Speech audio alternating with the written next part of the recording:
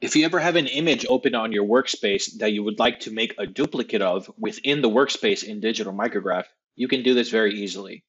Select your image and hit Control and C to copy the data from the whole image. Now, if we hold Control, Alt, and V, that image gets pasted into a new window, and you can see that we have a duplicate of the image. If, for example, we want to effectively crop these images to a smaller area, we can draw an ROI over whatever area we want to crop, hold Control C to copy the data from that ROI, and then hit Control Alt V to copy that data into a new window.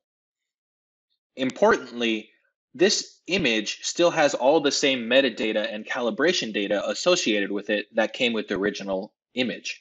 So for example, if I right click this image and go to layout and add scale bar, we can see that we can still add our scale bar and the image is still calibrated and we can go on and do anything else we, we might want to do with this information here.